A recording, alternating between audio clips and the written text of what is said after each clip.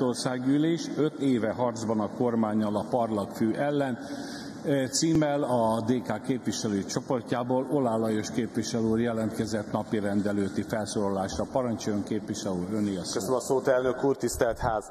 Hazánkban mintegy másfél millió ember szervet pal, pal, parlagfű allergiában. A fő kórokozó maga a növény, ez a legelterjedtebb gyom, nagyon sok virágpor termel, és igen hosszú ideig virágzik. Érthető hát, hogy a legtöbb szénláthás megbetegedést éppen ennek a pollenje idézi elő.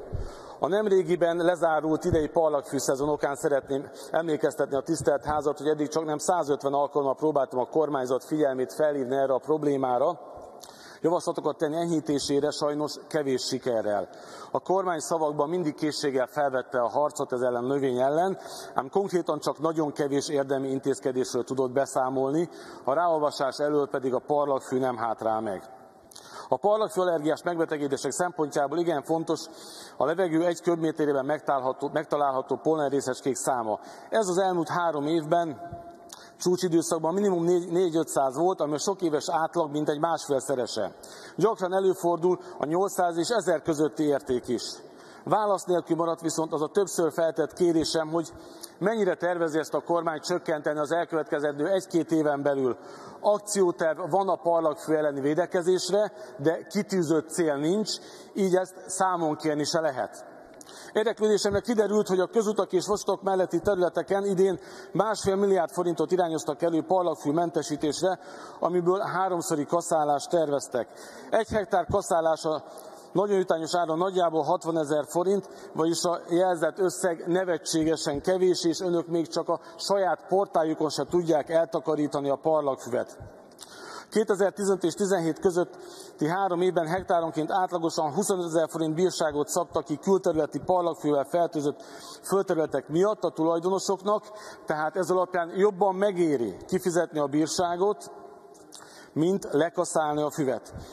Az is kiderült, hogy ebben az időszakban csak két-három ezer földarabot találtak fertőzöttnek, ami érthető, hiszen tavaly a kormányhivatalok mindössze 5000 parlagfű ellenőrzést bonyolítottak le, és a kormányhivataloknak semmilyen kapacitása nincs ahhoz, hogy ellássák ezt a feladatot. Pedig ilyen eredményesség mellett az ellenőrzések számát nagyságrendekkel kellene növelni. Sürgettem, hogy a parlagfővel szennyezett földek után ne kapjanak az agrárvállalkozók EU-s támogatást. Válasz az volt, hogy most sem kapnak, de azt nem tudták megmondani, hogy mennyi támogatást vontak meg emiatt. Javasoltam, hogy a védekezésbe uniós forrásokat is próbáljunk bevonni, Kezdeményeztem a környező országokkal való szorosabb együttműködést, mint hogy a szél és az általa hordozott pollenrészecskék nem tisztelik az országhatárokat. Közvetítettem a civil szervezetek javaslatait a minisztériumoknak, azt azonban, hogy a kormány hogyan viszonyul a civil szervezetekhez, mindannyian láthattuk. Megnyugtatónak szánt válaszokat, üres ígéreteket minden esetben kaptam, más nem. Javasoltam, hogy ha már van kerékpározásért felelős kormánybiztos, akkor a parlagfő elleni küzdelmet is egy kormánybiztosra bízzák, hisz számtalan olyan tárcát épít, érint, amit össze kellene hangolni. Önök nem voltak képesek megmondani, egy becsült számot se tudtak küldeni nekem, hogy mekkora kár érheti évente a nemzetgazdaságot parlagfűből kifolyólag. A parlagfű a tápénzes napokkal, az idegenforgalom csökkenésével, a mezőgazdasági károkkal jelentős gazdasági hátrányt okoz az országnak, ez 10 milliárdokban mérhető.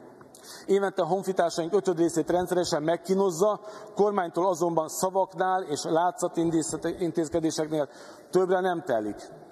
Ma sok milliárd forintot költenek az állampolgárok gyógyszerekre.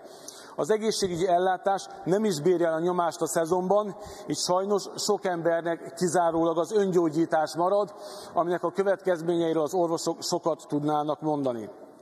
Ha a kormánynak fontos ez a másfél ember, akkor ideje végre lépni.